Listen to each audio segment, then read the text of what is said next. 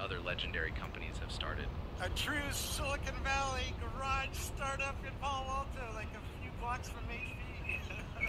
so, what's the state of your robot right now? it's two months old. You've been training it to do various things. What, tell me what it can do. You're proud of.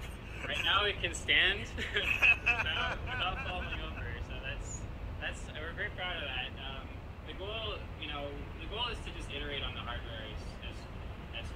possible. That's why we got 3D printers. Um, so this is like V3 of the robot, um, and yeah, the nice thing about 3D printing it is we